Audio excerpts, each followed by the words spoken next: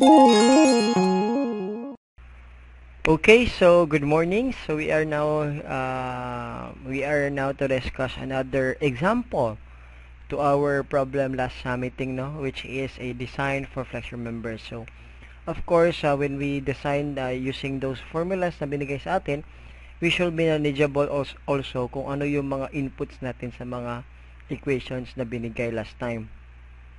So this time we will practice those one and of course we will apply our knowledge on the design of flexure members. Okay, let's start. Uh, let me read first the problem. So a W18 by 50 steel member is used as a beam with a simple span of 10.70 meter. Now due to architectural limitations, the beam depth shall be maximum of 450 mm.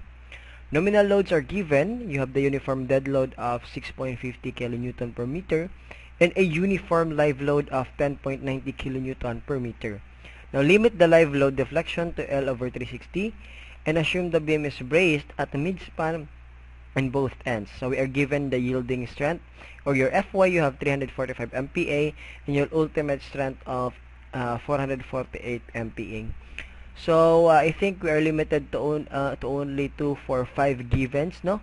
You have the BF or the width of the flange, have 190.40 mm.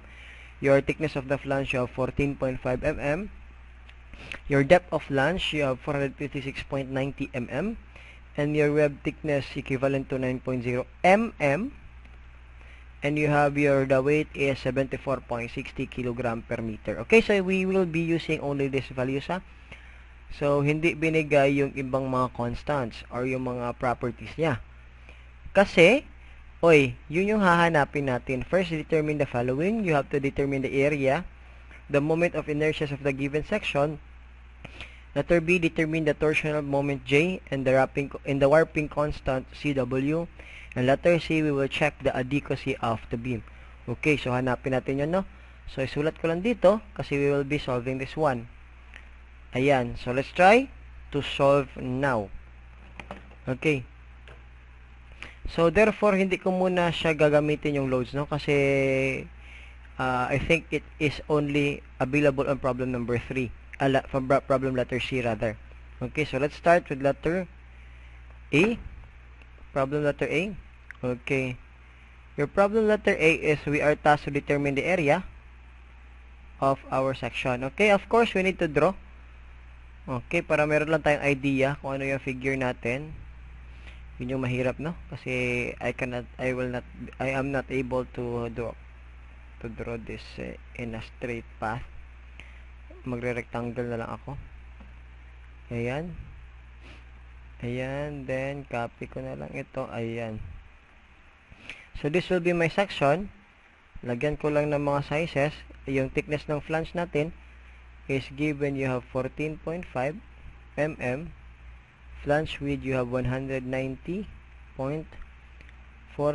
mm then we have this uh, thickness web that is 9.0 mm then the total depth ata.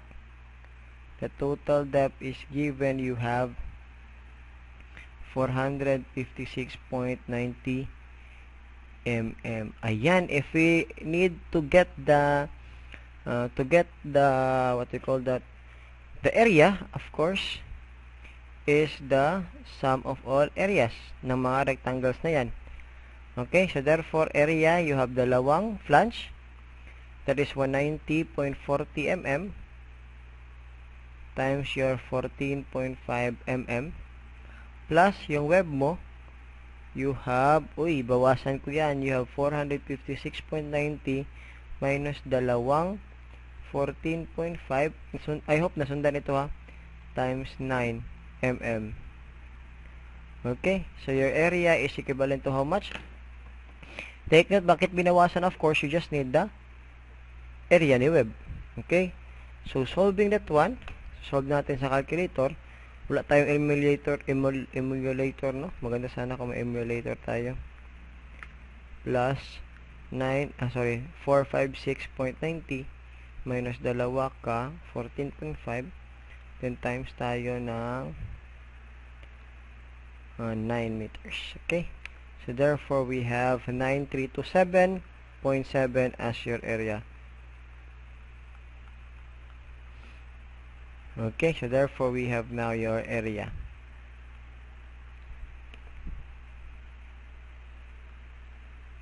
Ayan.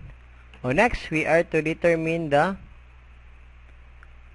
ang hahanapin naman natin moment of inertia. So therefore, take note that you have two moments of inertia kasi we are now dealing with steel, no? So your steel members will have uh, two major axes. Uh, you have two axes rather. You have the major and the minor axis. So your major axis is your strong axis and your minor axis is your uh, weak axis, no? Okay, so therefore, for strong axis that is your IX. Hanapin natin si IX. Okay, that is a bending about your y-axis, no? Okay, so therefore, you have your x. Hanapin natin si uh, maximum. Nito, that is actually your moment of inertia. You know that that is the sum of moment of inertia of the basic shapes plus your transfer of moment of inertia if there is any transfer of the moment of inertia, no? Okay. So, ilan ba yan? Triangle, di ba? You have 1, 2, 3. And very obvious that the neutral axis is located at the center. O kasi equal lang naman sila, di ba? If that will not be equal, so therefore magvavarig noons tayo. Okay, so therefore you have 456.90 divided by 2. Kaya you have 2 to 8.45. Yan yung magiging location ng centroid mo. 2 to 8.45 and you have here 2 to 8.45 location lang naman yan ng centroid okay. So kukunin na natin si sum of inertia no? Sum ni, ng mga inertias natin. Kaya you have let's start with Ix your Ix is equal to the sum of your uh, moments of inertia. Let's start with the first figure. That is actually BH cube all over 12 diba So you have your base which is equivalent to 190.40. You have your height which is 14.5 all over 12 plus. Okay? Plus your second. I think can I make it 2 can I make it 2 this 2 ha? Kasi take note you have uh, dalawang rectangle naman sa taas. Okay, so for simple para mas madali lang natin ma-solve. Okay, plus siyempre the inside the yung natira dito that is 'di ba um that is 9 kasi yan 9 yung magiging base ko but my height will become 456.90 minus dalawang 14.5 and this is cube divided by 12. Yan, pagpasensya nyo lang yung linya ko kasi I'm using a tech pen. Okay. So, how about your transfer? Take note that your first and third rectangle is not located, their centroid is not located at the centroid of all the figure. Diba? So, meaning, meron yan transfer of inertia. So, to that, to do that one, you have plus. Your area ng dalawa yan, that is of course, um, isang area, you have 190.40 area Then you have 14.5 times your d squared is the distance to the neutral axis. Take note the distance to the neutral axis is both the same, di ba? That is 2 to 8. 2 to 8.45 minus half ng flange.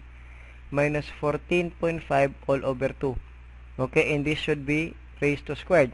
Take note that is for the one side, but take note ang uh, number 3 will have the same area and the same distance or d. Kaya therefore, pwede ko na lang ito i-times 2, no? So, can you give me now, or uh, this is actually pre-recorded, so I will be solving this one. So, Ix is equivalent to how much? Yan, you have 190.40 times 14.5 cube all over 12 times 2. Okay, plus 9 times 4, 5, 6.90 minus ka 14.5. Then this is raised to the third power and you have over 12 plus dalawa ka 190.40 times 14.5 times 2 to 8.45 minus 14.5 divided by 2 and raise that to square. So therefore you have okay you have this 32902639.2 mm unit yes mm to the fourth or you can express this one as 3.29 times 10 or 1 2 3 4 5 6 okay sige sige 6 yung ginag actually kasi ginagamit natin dito is 6 no? Ulitin ko ha? Uh, x raised to the power of 6 tayo. So 1 2 3 4 5 6 so therefore you have 329.0264 times 10 raised to the 6th power mm to the 4th. Kasi sometimes yung nasa nasa ano natin is uh, naka times 10 to the 6th power. Diba? Based yun sa last na example natin. Okay, so you have this as your inertia. Take note that you have another inertia, no? Kapihin ko lang ito. You have another inertia. Okay. Another inertia that is on the y-axis. Okay. So, kung, yung, kung y-axis, dito yung base mo. Yung kanina, yung x-axis is dito yung base natin. Kasi patayo, di ba siya? Ngayon, we will assume na pahiga siya. Dito yung y-axis natin. Okay. Ayan. Bending actually in y. Okay, bending in y. Yung uh, x mo is bending pa, paikot siya. Dito siya magti-twist. Oh, pag ganyan. Pag strong axis. Pag weak axis, dito yung twisting mo. Diyan yung application ng force mo. Okay? So, uh, let's start. Your RY, syempre, magbabaliktad lang yung uh, yung H ay yung B tsaka H nyo, di ba? Okay. So, take note, dito, lahat na ng centroid nila is nakahit on all side, di ba? Nakahit sa isang side, di ba? So, therefore, walang transfer of area. Kasi the same lang na ang centroid nitong 3 is dito, ang centroid dito is dito, ang centroid dito is dito. So they are lying on one line. So therefore, we will just take the inertia equal to the summation of inertia of all simple figure. Okay, so you have your inertia. Y is equals to dalawa. Dalawang base. Ang base, magiging base nitong flange na to is of course ito na. And that is equal to 14.5 times siya 190 0.40 yung magiging height niya all over 12. Okay? So that is go that goes for 1 and 3. So for that 2, you have magiging base niya is ito. Ito magiging base niya kaya you have 456.90 minus uh, minus dalawang flange no? Minus 2 times 14.5 times 9 cube all over 12. So therefore you get your IY equivalent to how much? Okay, you have 2 times 14.5 2 times 14.5 times 190.40 cube all over 12 plus 456.90 minus 2 times 14.5 times 9 cube all over 12. Kaya to pull it off, you have 16 1670 6822.15 mm to the fourth. Okay, para, para hindi ka mahirapan na if you are using this IY, stored mo na lang. Okay, so since hindi pa natin siya kailangan, uh, we just let it uh, that way. Pero we can also write this one as uh, yung times 10 to the 6. You have 1, 2, 3, 4, 5, 6. So therefore you have 16.707 times 10 to the 6th power mm to the 4th. And this will be my another answer. Okay, so I am now done with my letter A. So, ilagay ko lang dito para may, may source ako, no? A is equals to area equivalent to 93, pagkano yan? 9327 0.7 mm. Then, uh, number 2 is IX. You have 329.0264 times 10 to the 6th power mm to the 4th and you have your IY equivalent to how much yan? you have 16 16.707 times 10 to the 6th power mm to the fourth. Ayan. Okay. Okay, so we will continue now, but this time, we will check these answers. And uh, pag sinabi kong checking, we will just do the another way or the alternate solution to determine our area, our IX, and our IY. Okay, so uh, tignan nyo naman yung ginawa natin. Basically, gumagawa lang tayo ng parang varignons, di ba? Or we will just take the summation, no? So actually, we can do this one. Um, uh, we can do this uh, in your calculator. So basically, magtuturo ako ng Caltech ngayon. So we will do the we will do it using your mode. Okay. Mode 3 2. Okay, mode 3 2. Kaya you have your IX and IY on that area. Okay. Ayan. So, for your mode 3 2 you have your X and Y. And paki-on na lang ako ng frequency. Okay. Ayan. Yung X and Y mo, uh, that corresponds to the inertias of all figure. Madali naman, di ba, makita yung inertias? Di ba? Your X at saka Y. Your frequency will be your area ng bawat section mo. Okay, let's try. Uh, you have 3, di ba? You have 1, 2, 3. Sulat ko muna dito ha para ma-input ma ma natin mamaya sa calculator. So, your first figure, the centroid is what? Or where? In terms kx, your x is that is 190.40 divided by 2. Tama?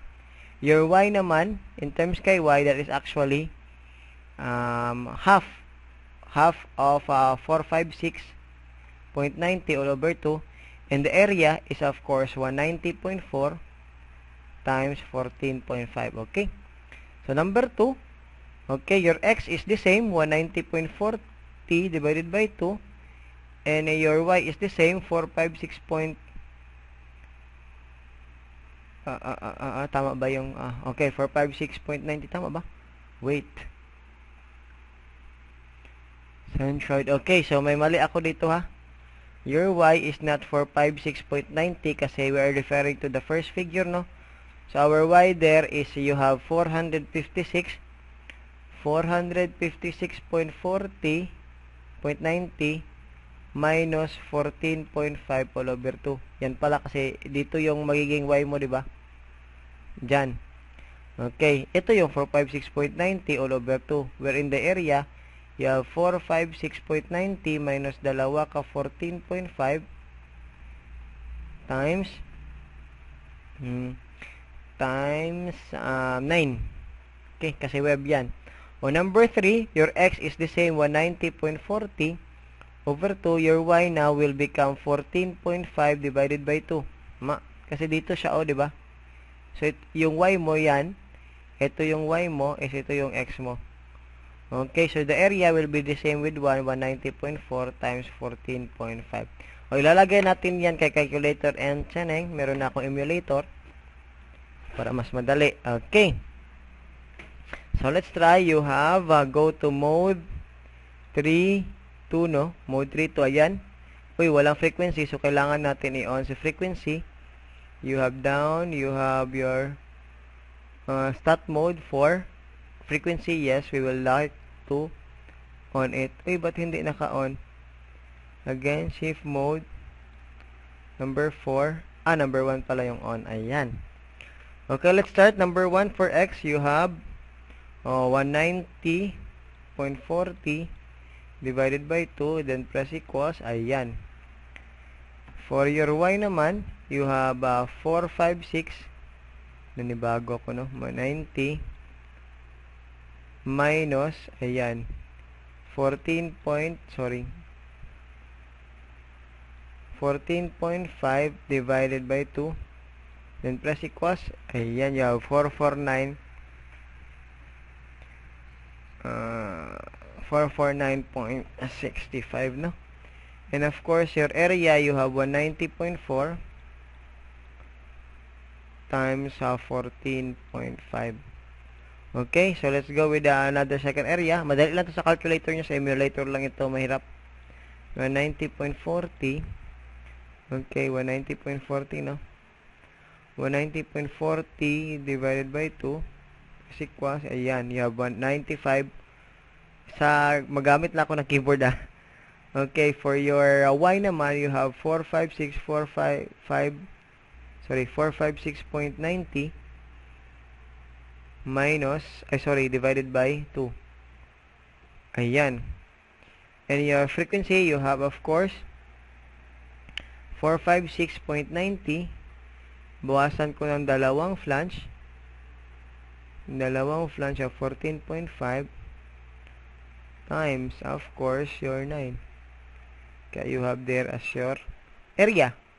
Then the last one you have 190.40 divided by 2 which is your x for your third and your y you have 14.5 divided by 2 and your area will be the same with the first 190.40 times 14.5 ayan so let's try to scroll kung same sila sa first ayan okay so therefore yan na okay Now, for our first problem, determine the area. How to get the area? That is just the sum of the frequency. And dito kay stat mode, that is actually your n. Kaya to get n, I know, alam nyo naman to, shift 1, n mo is makita sa number 5 regression, ah, sorry, One, shift 1, yung, uh, yung, yung area natin, makita natin dito kay variance, number 4, and press 1 for N. And Viola, you have 9 through 9372.7 as your area. Okay. How to get an X? I how to get IX. Okay. Your IX based sa kanina Wait lang. Okay, so let's try now to determine our inertia. Okay, so yung kanina ginawa natin, your inertia x is just equal to the, the summation of, di ba, inertias of regular shapes plus of course transfer of area times d squared or the transfer of area to the neutral axis or the um, kalayo niya sa neutral axis kasi we will just uh, get the moment of inertia al along its neutral axis. Okay? So, basically, ito, kailangan natin kunin ito. Ito, si calculator na ang gagawa. So, actually, madali lang naman yan kasi susundan nyo lang naman si calculator. O, di ba yung ginawa natin sum of all shapes is walang problema. The sum of all shapes will just be, you have dalawa ka 190.40. Ito yung ginawa natin kanina, di ba? Times uh, 14.5 cube all over 12 plus you have your uh, 9 times sa 456.90 minus dalawa ka 14.5 and that is cube divided by 12 plus dito na. Plus okay hindi na ikaw yung gagawa nun kundi let your calculator solve for AD squared and that is by pressing n times sigma y squared okay bakit y kasi you are going along the y-axis. Okay, this is actually variance. And this is your area. Di ba variance is x minus x prime? Ay x bar. Di ba? Based on your statistics. Okay, so we will use that concept. Okay? So therefore, you will just use this one or take note, pag gumagamit ka ng Caltech nito, pag hinahanap si Ix, take the sum of a moment of inertia along x along strong axis times your y. This is actually the method na tinatawag naming noy-noy. Pag IX, noy-noy. Pag IY, nox-nox. Okay, this is noy-noy. Okay, and how to do that in your calculator? Hindi mo na kailangan mag-fraction. Tuloy-tuloy ang pag-solve. Susundan nyo lang ako ha. That is just actually, okay, i-clear ko lang. Ayan. So, sundan nyo lang yung calculator ko. That is 2 times 190.40 times 14.5 raised to the power of 3 close mo lang, divided by 12 kaagad. Okay, next. Plus, sundan nyo lang, 9 times, okay, close parenthesis, 456.90 minus dalawa ka 14.5 close mo siya and this is raised to cube divided by kakay 12. Okay? Therefore, na-model mo na lahat ng ng basic shape. Okay? Plus, yung si calculator na ang gagawa, you have shift 1. Palabasin na natin si n. Your n is located at 1. Close parenthesis. Shift 1 ulit. Variance ka ulit, number 4. Palabasin mo si Noy Noy. And Noy is at number 6. And write a square. And close parenthesis then press equals viola. This should match this value. And ayan viola. You get 329 okay. Ayan. So therefore you arrive with the same answer. Okay store natin siya kay A ha? Shift store A. Ayan nasa kay A na siya. So baka kakailanganin ko lang siya mamaya ayan. Okay. So let's proceed now with our next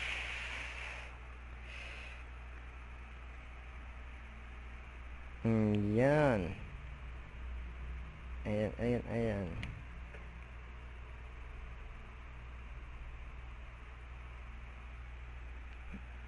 Okay so let's uh, continue how about IY and IY naman Uy, walang problema. Kasi magbabaliktad lang naman yan, di ba? You have 2 over 2 times 14.5 times 190.4 okay, over 12 plus ah, ito na naman yung cube. This one will become uh, 456.90 minus dalawa ka 14.50 mapapalitan lang yung may cube, si 9 na lang divided by 12. And this time, you will add n times nox nox. Okay? Yan, yung nasa loob yung may square ha. Then we will try to check using our calculator. Balik tayo doon. Hindi na mabalik no. Kasi nag-store ako. Sayang. Edit lang sana tayo. Okay, next you have 2 times 14.5 times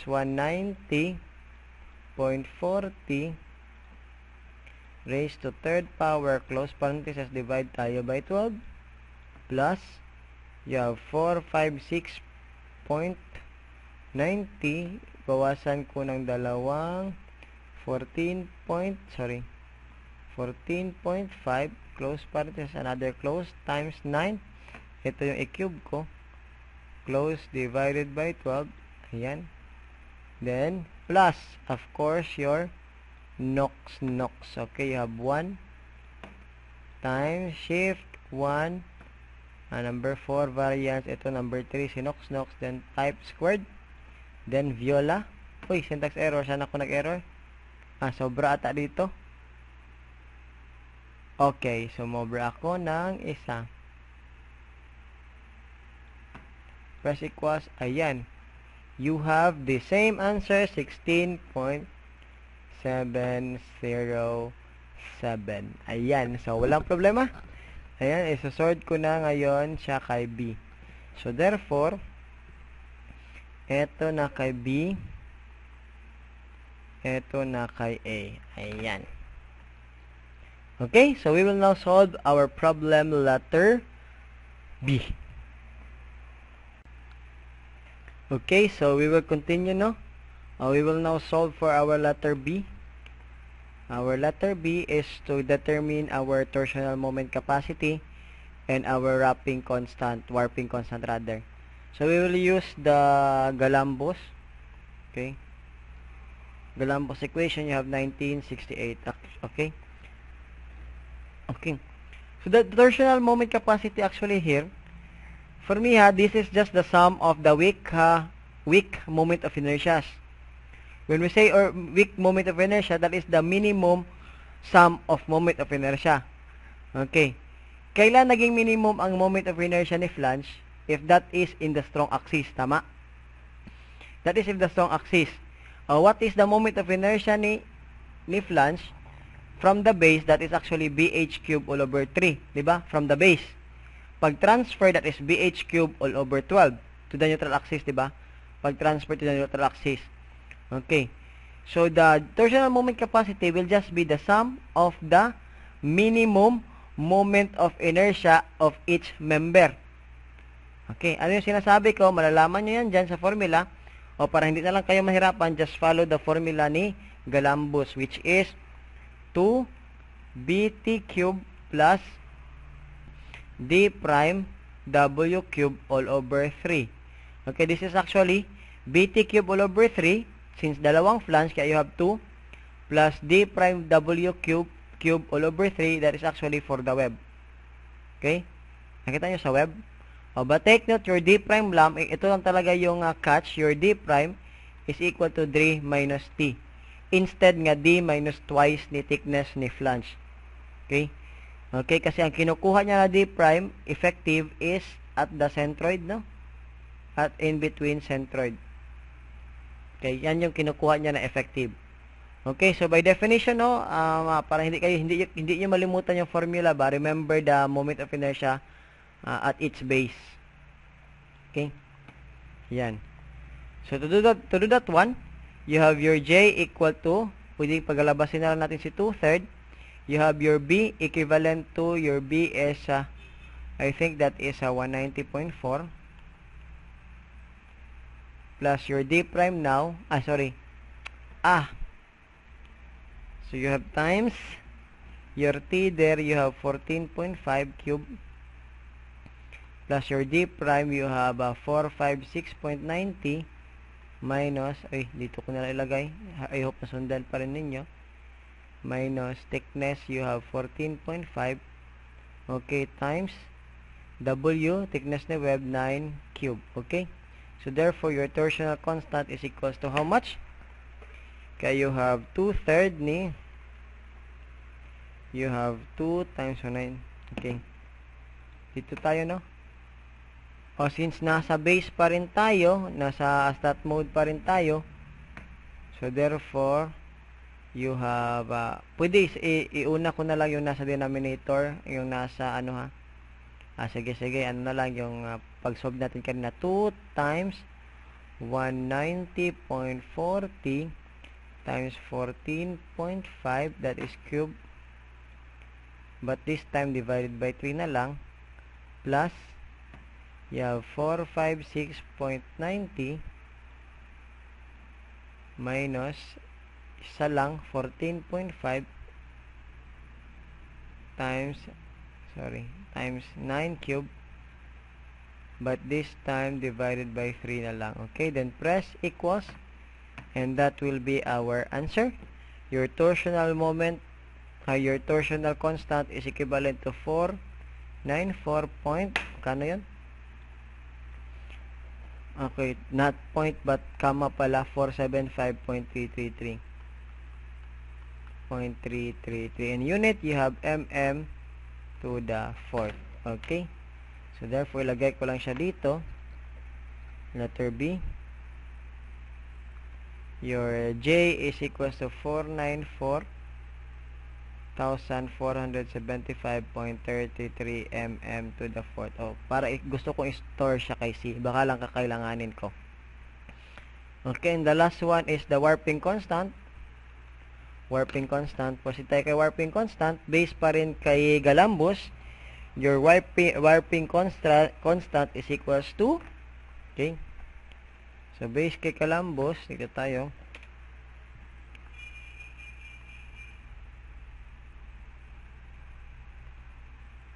meron tayong formula okay paki-memorize lang ito your CW is equal to D prime squared times BW B cube times T all over 24 okay this is Galambos equation pa rin ha?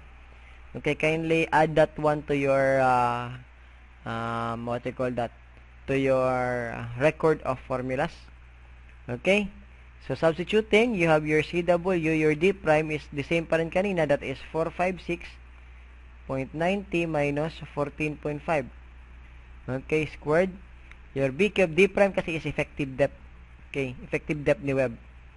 Okay, BW, you have 190.4 T cube and your T is your thickness ni flange, kaya you have 14.5 all over 24. Kaya you have your warping constant equivalent to, oh, let's try to have this on this calculator.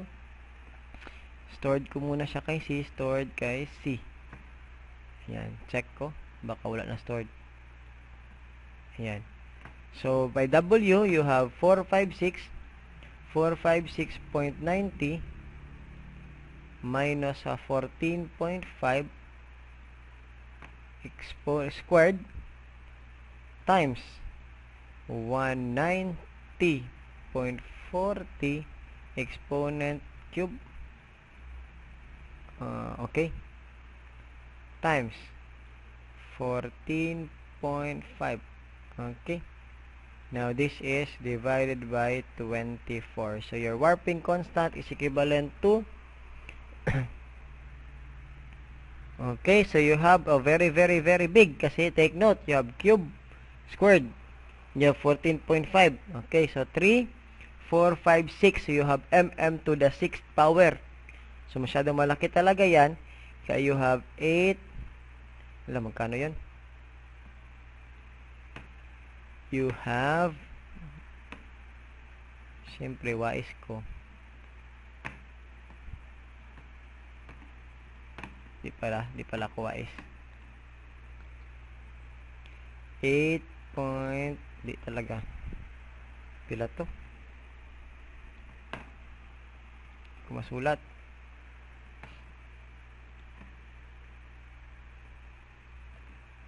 you now have 8.1618 pwede na siguro yan times 10 to the 11th power mm to the 6 so usually ang nakalagay dito is 10 to the 9th power yung nasa table ninyo. So that is uh, 11 na. So tatlo 1 2 uh, uh, 1 2 lang pala. Or 8 1, 6.18 times 10 to the 9th, the same lang pa rin yan, mm to the 6. Okay? So, therefore, ilalagay ko lang siya dito. You have 816 18 times 10 to the 9th, mm to the 6. Okay? So, of course, I will store that one to D. Ayan, nasa kay D na. Balik tayo dito. Again, I will be storing that one, this one to D. Again, so we are now done with our A and B. So therefore, letter C, we will now check adequacy of our beam. Yan. Okay? okay, this is now actually the main event, no? We will uh, we are now to determine our uh, the adequacy of our given beam. So, ilagay ko lang, no, that the figure is simply supported. Try to zoom in. That our given figure is a simply supported simply supported beam. Ayan. With the following, ayan, given tayo na ultimate load. In our span, you have 10.70 brace on this on this and on this. Yan this is uh, brace on third points no? And not not the third points on three parts. You have the end points and of course at the mid span. Okay? Ayan. So therefore you have this as your L over 2 and this is also your L over 2 okay? So we will check now the adequacy. So first let's try to have uh, the ultimate loads. O, let's try to first. O, kasi yung kinawa natin last time, hinuli natin sa ultimate load, no? Okay, so unfortunately, isang method lang muna yung ituturo natin dito, which is your LRFD method. Okay. Base your, uh, your LRFD, your maximum moment, or your maximum W, or ultimate load, is equals to 1.2 dead load plus 1.6 live load. Okay? That is uh, different from your, ano no, So, 2010 at 2001, that is 1.4 and 1.7. Okay, so therefore, substituting natin yung 1.2 times your dead load, which is equivalent to 6.50, plus 1.6 live load, you have uh, 10.90. So, therefore, your ultimate load is equivalent to how much? okay. So I think hindi na siguro hindi ko na siguro gamitin yung uh, sta, uh, yung statistics static stat mode no.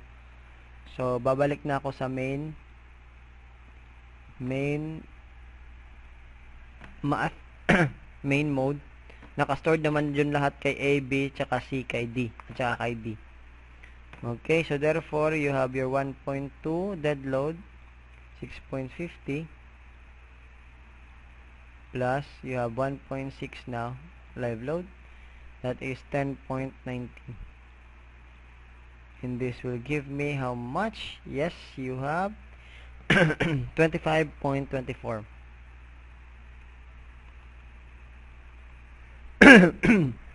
Excuse me. Excuse me po. So the moment, maximum moment, oh, simply supported, the maximum moment is WL squared all over 8. So you have your WL, you have your W 25.24, okay, times your L is 10.70, 10.70 squared all over 8. So therefore, your moment maximum is equal to how much? Sana yun? your moment maximum, therefore you have o yung answer mo kanina times 10.70 squared all over 8 kaya you have kay 316.21595 kaya you have 316.21595 361.2195 595 gano'n? Okay, 595 okay 361 point 21595 that's in kilonewton meter. And this will be your resisting moment or your ultimate moment. So therefore based on LRFD provision your MU must be less than or equal to your phi MN nominal. So we will try to get this nominal capacity. Okay yan yung hahanapin natin. Okay, so we will now proceed with the different steps in solving this one. Ito na lang siguro. Kapihin ko lang itong nasa taas ha, kasi I, I might needed I might be needing this one. Okay. Ayan. Okay, so first is we will check uh, your step 1.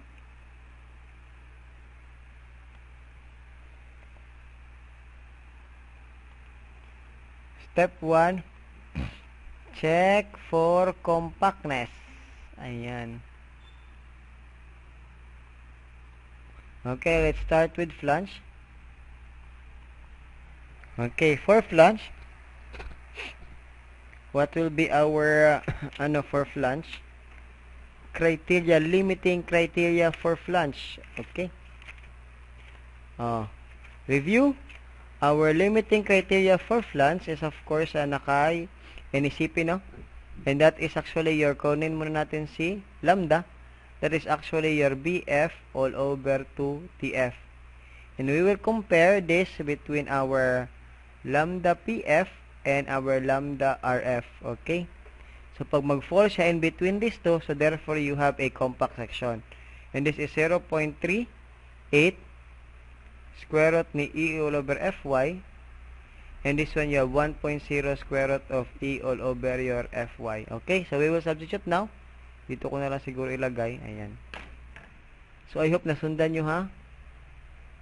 Masundan nyo kahit yung pangit yung mga pag pagkasulat. Okay. So, substituting here, you have BF equivalent to, magkano yun sa BF? 190.40 divided by 2 times you have 14.5. Okay, and that is equivalent to how much? You have 190.4 calculator. You have 190.4 divided by 2 times 14.5 okay so therefore you have magkano to ay bakit ganyan ano yan ah akala ko ano 6.566. You have 6.566. So, let's try to solve this one. Magkano tong dalawang to? You have, okay, 0.38 times, uh, times the square root of, oy, what is your E4 still? That is 200,000 MPa all over. Na-discuss natin yan last time, di ba? Your Fy, which is equivalent to, uy, ba't hindi ko nalagay sa Fy? Okay. Tamad ka talaga ba? Hmm. I think nalagay ko naman sa Fy, di ba? Dun sa nilagay ko siya dito. Ayan, andito sa Fy. That is 3, 4, 5, and 4, 4, 8. So, Fy is 3, 4, 5. Okay, then press equals, you have 9.15. Lagay ko na 9.149. 9.149. And sa kabila naman, sorry. Sa kabila naman, I will just edit this one.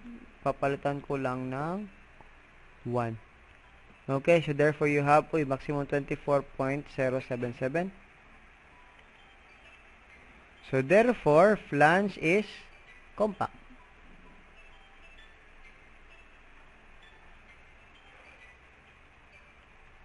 Ayan. Oh, how about the web? okay.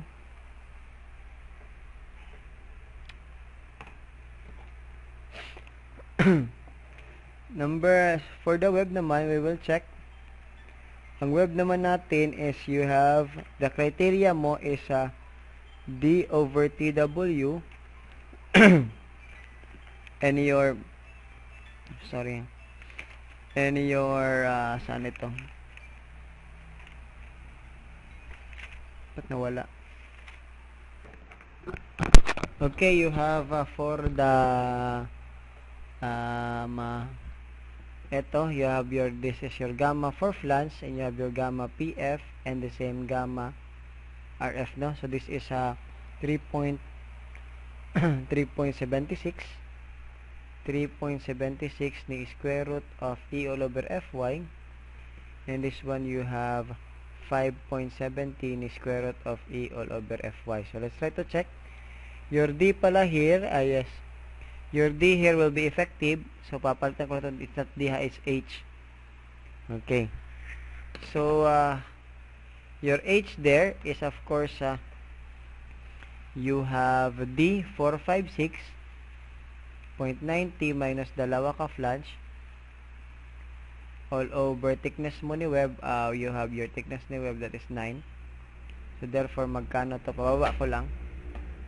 Kaya you have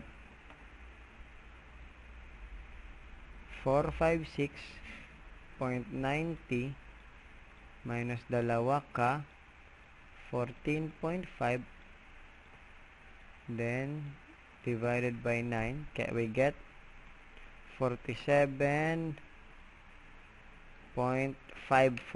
okay you have 47.544 okay how about itong dalawang to? Okay I will just use the value kanina. Ah, sige solve na natin you have the square root of 200,000 divided by your Fy which is 345 okay times you have 3.76 ah, sorry but napasok. Times 3.76 kaya therefore this will give you 90 okay 90.53 and the other one you have my okay. 5.70 equals you have 137.24 you have 137.24 so therefore our web is compact. Okay? Okay if the web kasi kaya sometimes sa uh, mga reviewer hindi makikita nyo na hindi a reviewer ng LRFD ha So, makikita nyo hindi na chinecheck si web kasi it's a very uh, sabotable na na the web is a compact. Pag web kasi is non-compact, so therefore, magpo-proceed tayo sa web crippling. And that is another topic. So, web crippling na, no? So, murag iyahan ang kumuton si web. Ako kasi non-compact si web. Ayan. Okay? So, our next step, balik tayo, no? Tapos na tayo doon. So, uh, we will now proceed with our next step, which is our step 2. Kaya ano yung step 2 gawin natin? Balik tayo dito sa chapter 2. Okay. Step 1, determine the compact or non-compact. Step 2 is we will determine the yielding capacity. Yielding strength ni section, no? So, step 2, determine the yielding moment yielding. So, that is actually M. Mu is equals to mp. Here is your plastic moment. You have your fy times your zx. Okay? And by the way what is this your zx? Okay? Ano si zx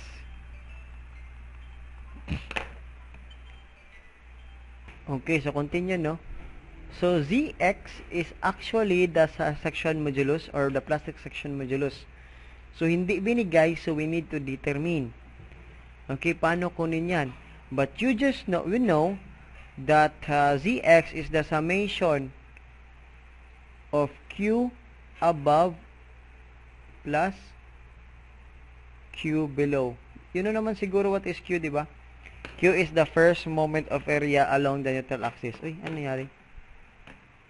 Ayan. Oh, so we will just draw. Draw ko muna first ha. Try ko lang kung makaya kong draw. Ayan, rectangle. And andito na si another rectangle. Maliit na rectangle. And pihin ko lang siya. And eh, of course, ito din. Let's say that this line here, kinat ko sila. This will be my neutral axis.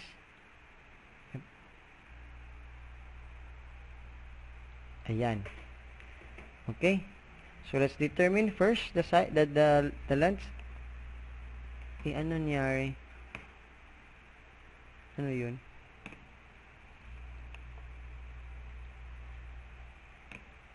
Let's determine first. Okay? So, this is 190.4. This is 14.5. Oh, how about this? Magkano to? Okay. Yan is, uh, di ba, their total depth is, uh, uh, total depth is 456.90. That is actually, dito ko na lang ipakita, that is 456.90. Bawasan mo ng dalawang 14.5. Okay, so therefore, yan yung web mo. O, divide 2 natin. Kaya you have 213.95. So therefore, you have 213 point, magkano yan? 95. Okay? So, of course, the same lang naman yan sa kabila. So, therefore, pagkuha ng ZX natin, that is just actually, oy, ano magiging center nito? O, oh, first is this area. You have 190.4 times 14.5 times the distance niya from the neutral axis that is actually 213.95 lang.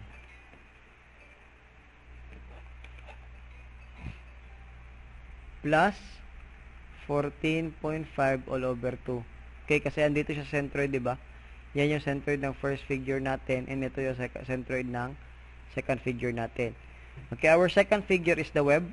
So, the web is uh, 213.45 times 9 times 213.45 divided by 2. Okay, so therefore that will be your plastic section of modulus. You have, oh, let's have a, this calculator. Okay, you have 190.4 times 14.5 close parenthesis times 213.95 plus, okay, you have 14.5 divided by 2, close, close, plus, parenthesis, 213 point, I think that's 95, but it's not 45. Okay, that is a 95, 213 times 95, times 9 times 213.95 divided by 2. So, therefore, you have now your plastic section modulus equivalent to this. Okay? You have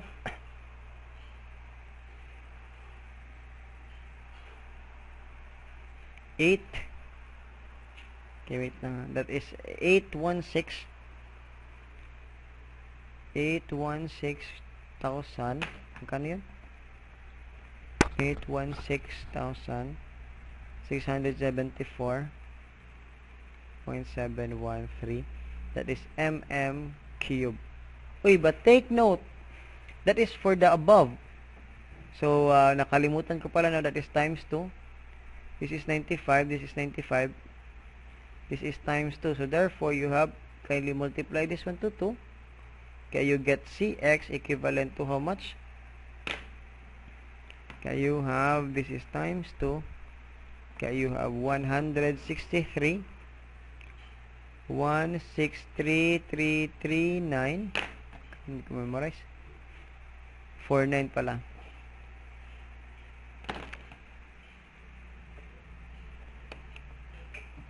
you have 1633349 point. Yung point niya. 0.343 mm cube okay? So zx we will store zx we will store the zx to e. Shift stored e. Yan so therefore naka e na yan.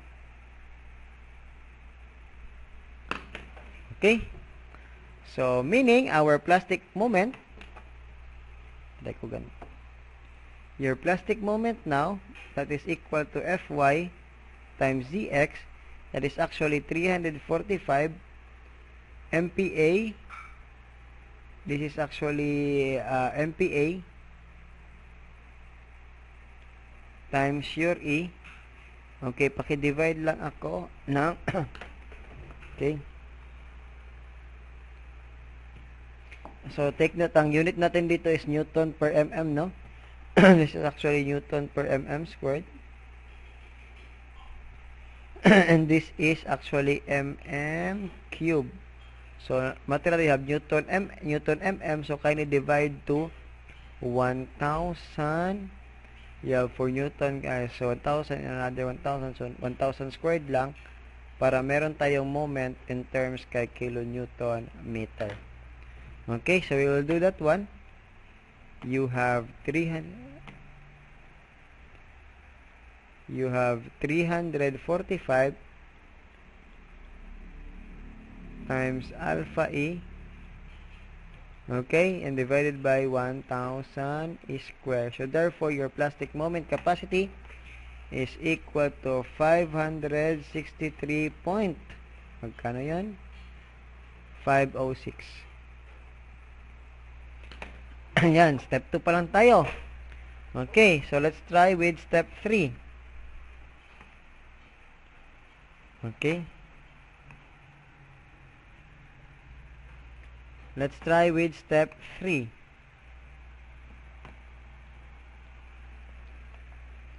our step 3 is of course your flange local buckling.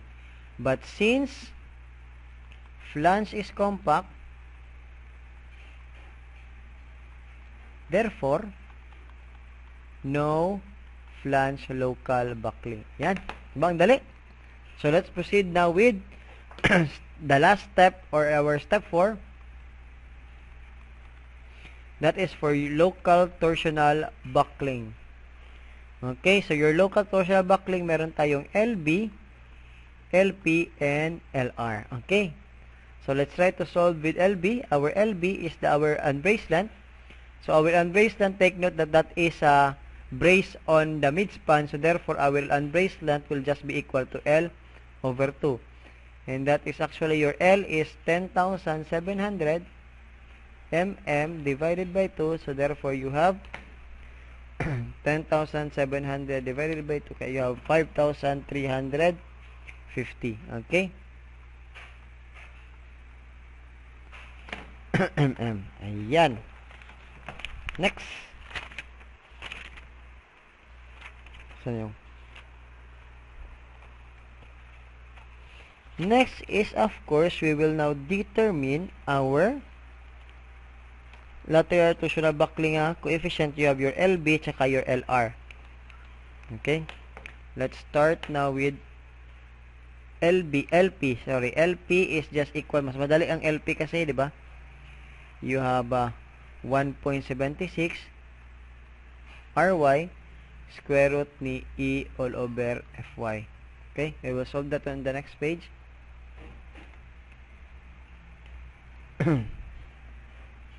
so your uh, formula again for LP is equal to 1.76 RY square root of E all over your FY. But RY is we know that RY is just the square root of IY all over A. Diba? And that is actually equal to your RY Kaya you have the square root. Ah, meron pala akong calculator dito. Okay, take note your IY is the minimum inertia that is stored kay B. So you have square root of, andito oh, stored kay B. So therefore your IY is, uh, wala, hindi ko na stored ang area, no? Alpha B, sige lang, over 9327.70. And press equals, you get this equivalent to 42.3214 321. Okay, 42.321. Okay, so para mas madali, diretso ka na lang input dito. Magkano ito? Idiretso na lang natin, no?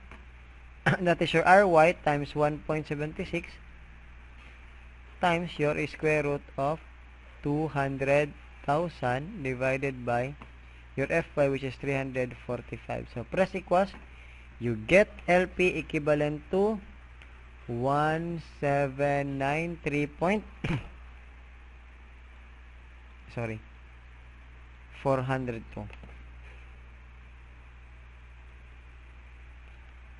mm okay so let's try to check. Magkano yung kanina uy LP LB is greater than LP ayan so we will check if lumagpas siya kay LR okay let's check with LR our formula for LR, okay, we have tatlo, no? Ay, ano bang formula natin kay LR? Okay. Um, uh, we will try to use the mahaba or you will we will use the conservative. Uh, we will use the conservative na lang. The conservative na LR that is actually gamitin natin si conservative ah, para mas madali, no? Si conservative is pi RTS square root of E all over 0.7 Fy. Okay? And actually, your RTS is equal, is uh, your RTS is actually your effective radius of gyration. So, meron kang tatlong equation na binigay ni code. Your first code for RTS is, uh, saan na yan? You have the square root, you have RTS squared, is equal to the square root of Iy CW all over Sx. Okay? And you have your another formula for RTS that is actually equal to the square root uh, squared is equals to Iy HO all over your, your dalawang SX and you have your another one, yung conservative that is actually um, saan yun? Sorry I forgot the formula. Okay okay na yung numerator yan makalimutan ko that is a BF all over square root of 12 times 1 plus 1 6 ni HTF and HTW all over BF times thickness ni flange and you have that as square root okay You have tatlong equation na binigay ni code, no? Pero sabi ni code, you can use this two, one, two, or you can use this one. Ito, conservative masyado si RTS. Basahin ko yung nilagay niya kay code, ah. Ang nilagay niya kay code for RTS, asa na yung uh, NSCP ko?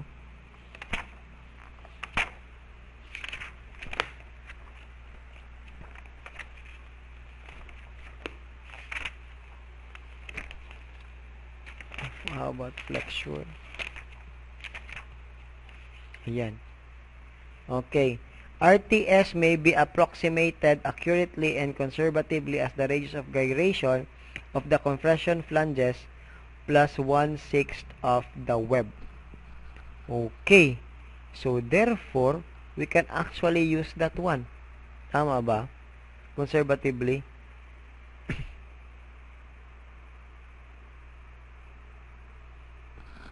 Okay. So, actu- actually, sabi ni Code, masyadong conservative ito lahat. conservative, no? So, uh, but uh, we will use these values kasi mas madali itong isolve. And uh, for simplicity lang, no? If mag-fail yung, uh, if mag-fail yung, yung design natin, we can actually consider yung formula na binigay niya, yung mahaba. Okay, kumbaga yung mahaba, yun yung hangyo. Okay. So, we will try to use this one. Your RTS, kukunin natin itong tatlo. okay. So, hanapin muna natin yung value ng RTS. But for me, no, pag hindi ko gusto, ay pag sinabi kong uh, wag ito, sinabi kong hindi ko gamitin yan, hindi ko gamitin ito, we will use this conservatively.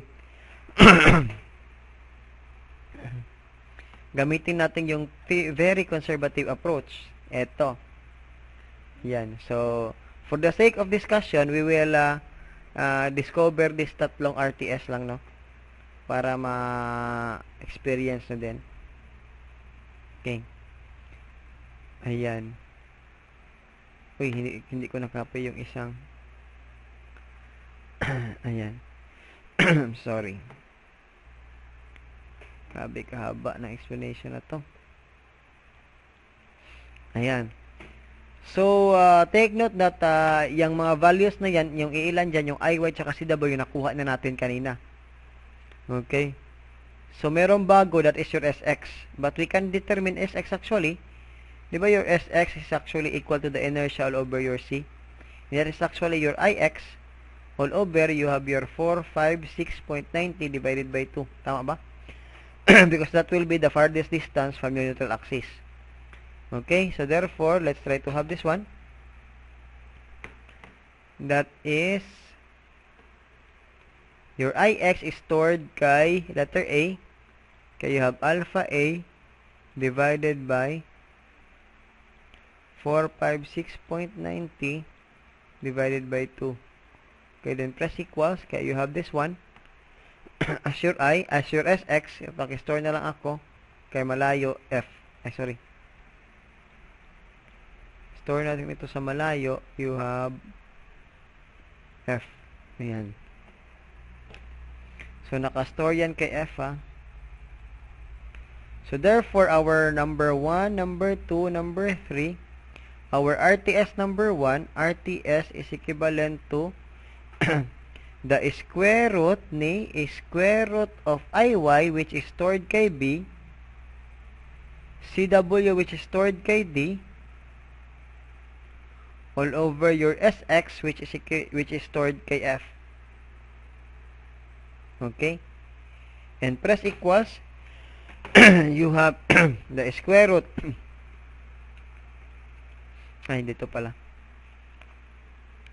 kaya you have the square root of square root ni alpha B times alpha D all over alpha F. And press equals. Kaya you have 50.635. Kaya you have mm. Radius of gyration man. So our unit for our radius of gyration that is mm. Okay?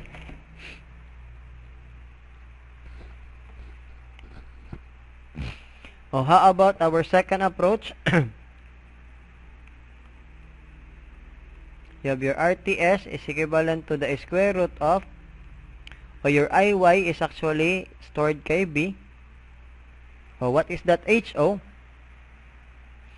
Your HO is your depth or the height or the depth of your web lang naman that is 456.90 minus 14.50.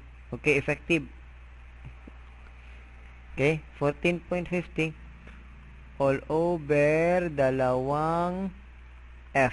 Okay, so this is equal to how much? you have actually square root na lang alpha b times 456 456.90 minus 14.50 all over 2 times your alpha f. And kindly press equals you get almost exactly the same. You have 50.654 mm okay? Next number 3 okay, wala na akong space no? Okay kapihin ko na lang ito ha? Para ma-compare ko next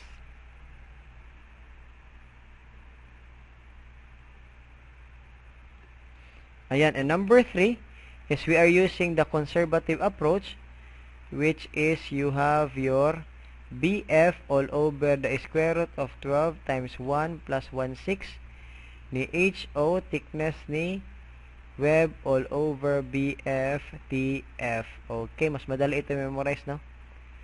Kaya you have your BF or given naman yan lahat. You will just simplify. You have your BF given, you have 190.40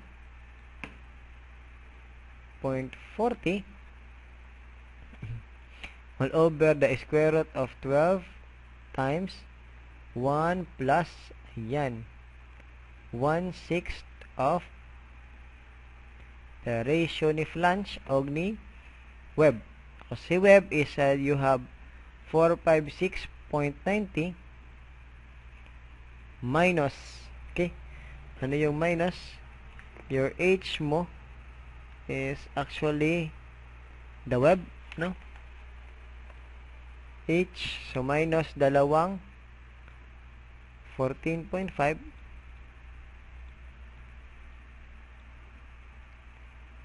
okay times thickness ni web that is 9 divided by thickness ni flange. You have 14.5 times width ni flange 190.40 okay then close parenthesis then press equals may may error ako. Gusto niya palagyan ng times. Ay ayaw pa rin niya. Ah kulang tayo ng parenthesis another parenthesis kaya you get. Okay you have 49.509 okay ah sorry 19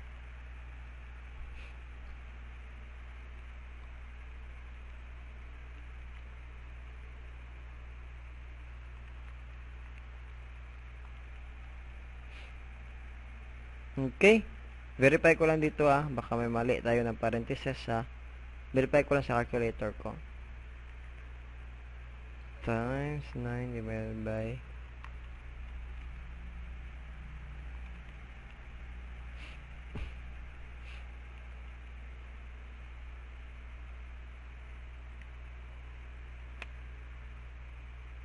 Okay, so that is the same. You have 49.509. So therefore, this is 49.509 mm. So, verdict, ano yung gagamitin ko? So, this is free, very free, no? Meron kang, ano dito, uh, the, um, uh, uh, meron kang extension. So, dito, very conservative. So, I think para mas, mas safer, I will use this one. I will use 49.509. Okay, so therefore, meron na akong 49.509. So therefore, I will use that in getting my LR. So in getting my LR, you have actually this formula. You have pi times RTS times square root of E all over Fy. Okay, ang dali no? Sorry, times 0.7 pala yan. Okay. Madali lang ito, no? Yan ba yung nilagay ko kanina? LR. Ah, wala. Okay. Ayan.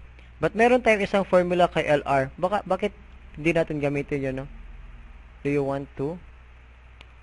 Okay, masyado namang mahaba. Ang haba. Okay, so ito na lang siguro si conservative. You have LR is equals to pi times your RTS is 49.509 times the square root of you have 200,000 all over 0.7 ni 345. So therefore your LR is equivalent to how much? you have pi times 49.509 times the square root of 200,000 over 0.7 times 345. okay, so therefore you have LR equivalent to Uy, ba't sila magpas?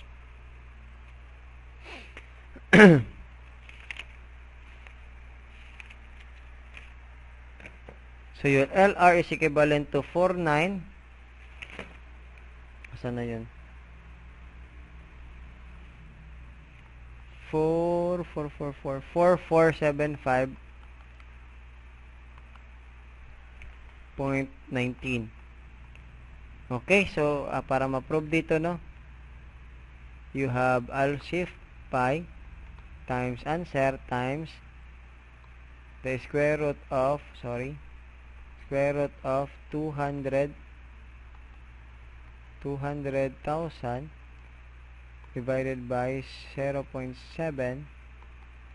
0.7 times 345 then press equals, you get, yan, 4, 4, uy, ah, kasi I'm using the stored, okay, I will follow this one kasi stored ang ginamit ko na, okay, I will follow with that one, ay, ano ba, that is actually 4,000, ano yun, 4476.014, you have 4476.014 mm.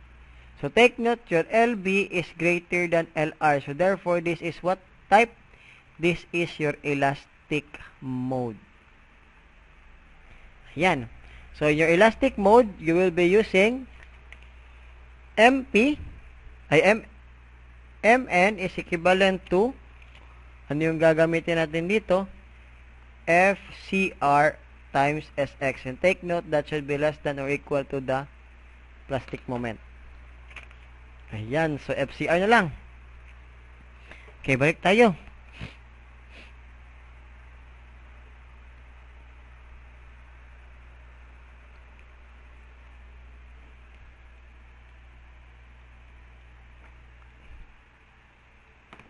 Yan, so meron naman tayong LCR na no. So magdagdag lang muna ako ng mga free ano ha. Free space. Okay. Eh, ba't doon siya naglagay?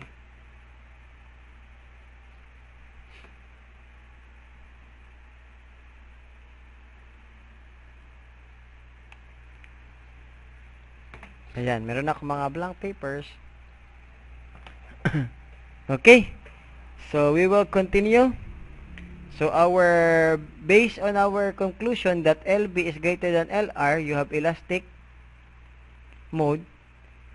So based on elastic mode, you have your uh, MN equivalent to FCR SX, but this should be less than or equal to your plastic moment. Okay, and take note that your FCR is the Euler's equation. You have CB pi squared E all over LB all over RTS. Okay? You have the squared Then take the square root of a 1 plus 0.0 078 JC all over um, SXHO times LB all over RTS. Okay, squared. Pag yan naman yung given, madali naman no kasi meron naman tayo. 'Di ba nakalagay naman dito. But how about we get the CB conservatively? Okay, I, we, we get the CB, actual CB. 'Di ba may binigay binigyan ko kayo ng CB? Okay? So 12.5 pag hindi ko si, hindi ko sinabing use CB equivalent to 1, so therefore hanapin niyo talaga yung CB. And you have this one. Okay, for this particular problem, no, we will assume CB is equivalent to 1.0. Okay, so therefore your FCR is equals to, oh, we will solve this one ha, pero gamitin natin yung conservative. Kasi merong user note dito, di ba, na we, can assume this one as equal to 0. So, for the sake of solving lang muna, you have this pi squared times you have your 200,000 all over your LB over RTS. Your LB is actually equal to magkano yun? 5,350. 5,350 all over your RTS. Magkano yung RTS ko?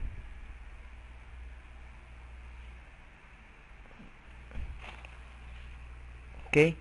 You have 5,350 all over your RTS. That is 49 point. Magkano yung RTS natin? 49.509. Ayan. And this is your squared. Times square root of, oh, pwede ba ilagay ko na lang dito, no? Yan. Times the square root of 1 plus 0.78 Take note your J is stored kay C. Ano ba? Saan ko yung nag-stored?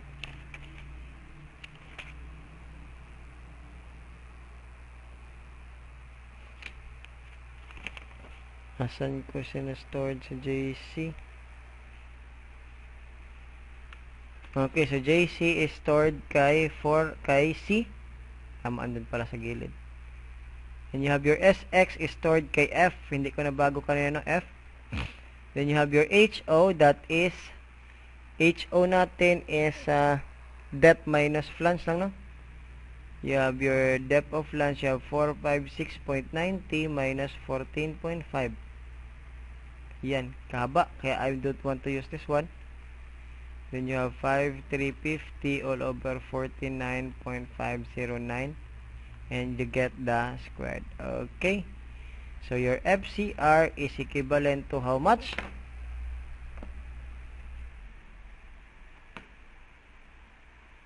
Okay, ang ginagawa ko dito, no? Since common ito, gagawin ko na lang, kukunin ko na lang yan sa daan. 49.509. Okay, equals. So therefore, that is nakastored kay answer. Diba? So therefore, magpa-pi squared ako times 1 times 200,000 divided by answer kanina times sorry answer squared times. Okay square root of 1 plus 0.78 times naka-stored kay alpha C all over alpha F times 456.90 minus 14.5 no? Close parenthesis then another close parenthesis then open yung naka-stored na kay answer then squared then viola you get FCR equal to 480 point we will compare this one 480.159 9 MPa. O how about we will, if we will assume conservative? Pag conservatively, sorry. Pag conservative, we will just take FCR equivalent to CB pi squared E all over LB all over RTS E square. Yan lang 'di ba yung nilagay ko for simply so for simple um sana yan for simple analysis. Ayan, conservative. Okay. So, meaning nito, lahat yan ng ginagawa natin, yung conservative or not, that is acceptable by the code. Okay, so you have 1.0 pi squared times 200,000 divided by your LB, you have 5350 all over 49.509 squared. So, you have your FCR equivalent to kaya sa board exam, pag may lumalabas na stale, hindi maari na hindi ibigay ni examiner yung code. Okay? Yan, you have, oh, uy, ba't kaliit? Tama ba? Magkano kanina? Okay, wait lang ha. I think I have a little bit error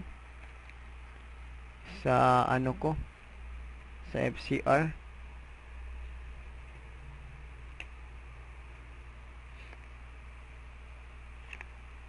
Mm, -mm.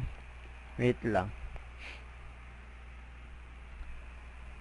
Ah, parang may mali. Times the square root of 1 plus 0.078 times your GC ko 494 475.333 all over your SX ko na kay F ko lang si alpha F ha saglit lang verify ko lang ha 0255.619 times you have your 456.90 minus 14.5 times 5350.49.509 squared. Ayan lagi so may error ako sa pag-solve kanina ha ulitin na lang natin ito hindi ko ata na square Okay, si pi. So, kunin ko na lang si 5350 divided by 49.509. Okay, press equals. Okay, so naka-store dyan kay answer. Kaya you have 1 times pi squared times e mo 200,000 divided by and squared. Okay, times the square root mo ng 1 plus 0.78 ni alpha C C all over alpha F times 456.90 minus 14.5 okay close natin siya then another parenthesis for answer squared Okay, then press equals. Uy, 480 talaga. Ba't iba yung manual calculation ko?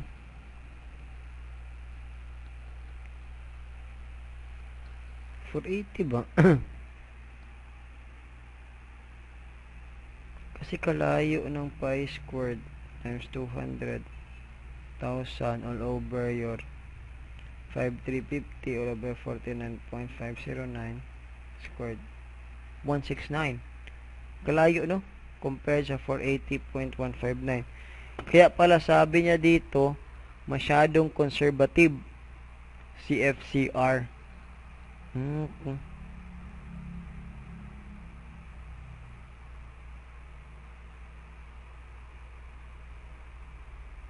Bakit may C?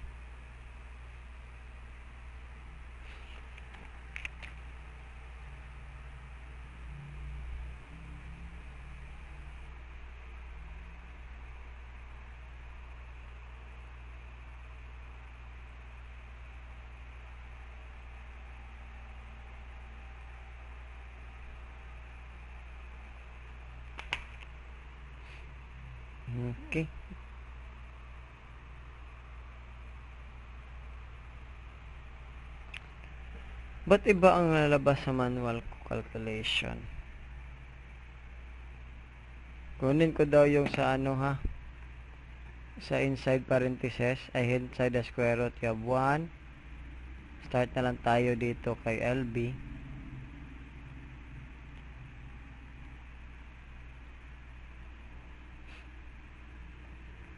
pag uh, the same pa rin yung sagot I will, we will stick on that answer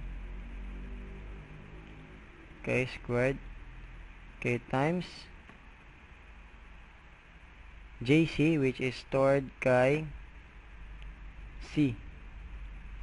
All over your alpha F.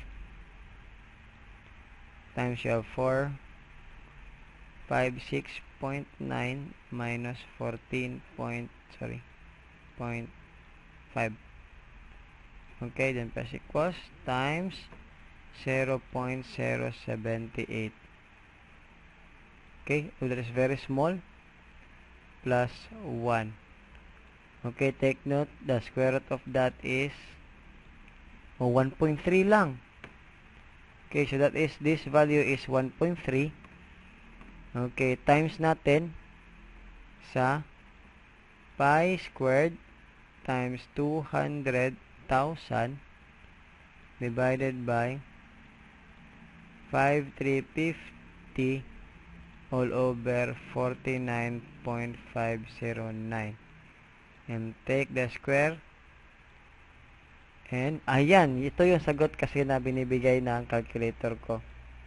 Okay, siguro may problem tayo sa pag, sa pag ano no sa pag parentheses okay so therefore you have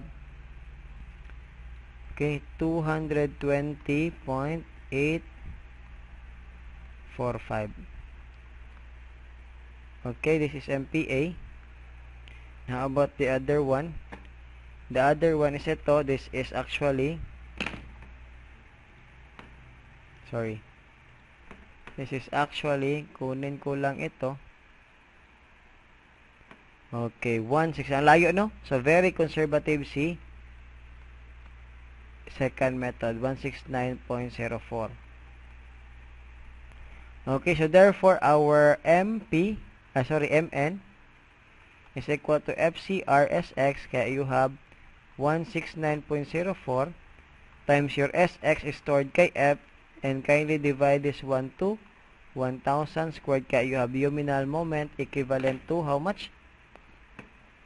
So times alpha F press equals divided by 1,000 squared kaya you have okay, 200 43.461 and that is kilonewton meter okay? So therefore you have here as your capacity no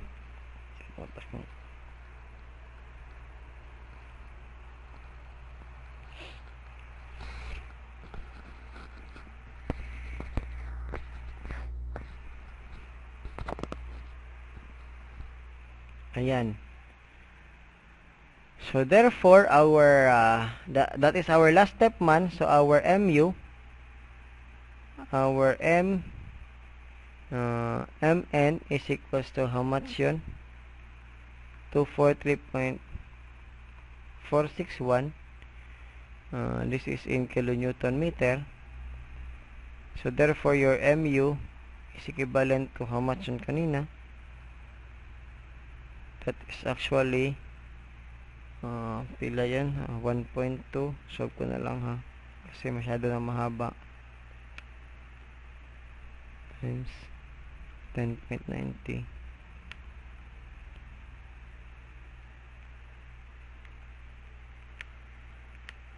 you have 361 216 kilonewton per mm okay so your ultimate moment is 361.216 and this should be less than 0.90 ni 243.461. Okay, ano yung conclusion mo? You have 361.216 is greater than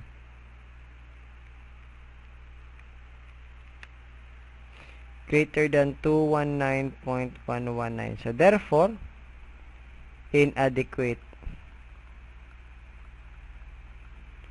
using conservative approach.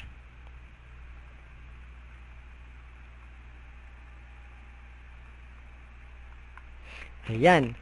So, inadequate using conservative approach. Okay, try nyo naman yung mga hangyo. Okay, yung mga hangyo dyan is your, you will increase the CB and you will use the FCR yung mahabang formula, yung 220. Pero magbabago yon kasi you have your CB na another value ni CB. Kasi mag-increase yung stability nito eh. Si CB is to increase the stability. Take it, binago ko na yung question na. Tama na yung question. Kasi brace at midspan.